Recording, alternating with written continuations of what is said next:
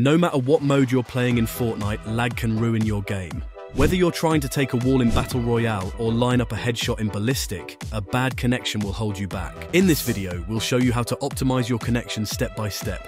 First, we'll check out Fortnite's in-game settings to diagnose any connection issues. Then, we'll cover the quickest and easiest way to improve your connection. And finally, we'll show you how the Netduma R3 gaming router can eliminate lag for good. Let's get started. Fortnite has built-in settings that can help you understand what's causing your connection issues. First, check your matchmaking region in the settings menu. Make sure it's set to auto or the lowest ping region available. The game server you connect to is the biggest factor affecting your ping. If you're connecting to a faraway server, your ping will be higher because of the increased travel distance for your game data. For the best ping, always choose the closest servers. For example, if you're like us in the UK, the best matchmaking region is Europe. Next, enable Net Debug Stats in the game UI settings. This displays network stats in real time so you can see if you're dealing with high ping, packet loss, or an unstable connection. With this info, you can skip to the exact part of the video that addresses your issue. Check the timestamps in the description. What's the fastest and easiest way to improve your connection? Switching from Wi-Fi to a wired Ethernet connection. It's often overlooked, but it makes a huge difference for gaming. A great gaming connection isn't about having the fastest internet, it's about having a stable connection. Even back in the dial-up days, people could play online because stability is what really matters. And that's exactly what an Ethernet cable provides. Wi-Fi, on the other hand, suffers from interference, weaker signal strength, and even packet loss especially if your gaming setup is in another room. But if running an Ethernet cable to your console or PC isn't possible, consider powerline adapters. These devices use your home's electrical wiring to carry an Ethernet connection, offering a much more stable gaming experience than Wi-Fi.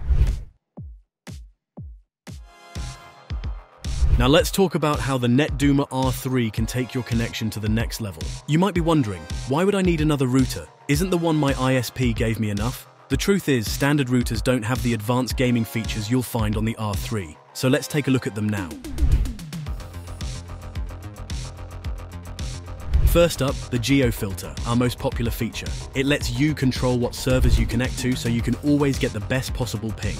Fortnite's matchmaking regions can contain multiple servers, and depending on your location, their ping can vary a lot. The geo-filter allows you to choose the best one specifically. Just add your console or PC as a device, select Fortnite, and set your preferred filter radius. Now you'll only connect to servers within that range, ensuring a low ping experience. We'd recommend starting with a 1,000 mile radius. But if you want to find out where the best servers are located, check out the R3's ping heat map feature. Select Fortnite from the drop-down menu and you'll see a map of all the game's servers, color-coded by ping. The green ones will be the best servers for you. With this info, you can fine-tune your geo-filter for even better results. Next, let's talk about Steady Ping. This feature stabilizes your connection by eliminating ping spikes, also known as jitter. Just enable it with this button in the Geo Filter interface. In simple mode, steady ping automatically stabilizes your connection, while expert mode lets you tweak it further to find the best setting for your connection. You'll see the difference right away in the ping graph within the GeoFilter sidebar. The top line of the graph shows your new stable ping, while the bottom line shows your original unstable ping. Finally, we have Smart Boost, a game changer for anyone gaming on a busy network. If you've ever lagged because someone else was streaming or downloading, this is the feature for you. Smart Boost automatically prioritizes your gaming traffic, ensuring it always gets the bandwidth it needs. If you selected gaming as a priority during the initial R3 setup, you're already good to go. If not, just add gaming to the priority list and make sure it's at the top. That's it. As Smart Boost allocates the perfect amount of bandwidth to all applications, it also reduces buffer bloat across the whole network. So no matter who's online, your gaming won't be slowed down. The R3 has even more powerful features, but these are the key ones that will optimize your connection in Fortnite. If you want to learn more, check out the link to our website in the description.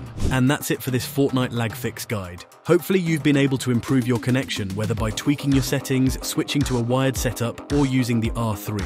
If you want to see how the R3 can improve your connection in other games, check out the other videos on our channel. Thanks for watching, and we'll see you in the next one.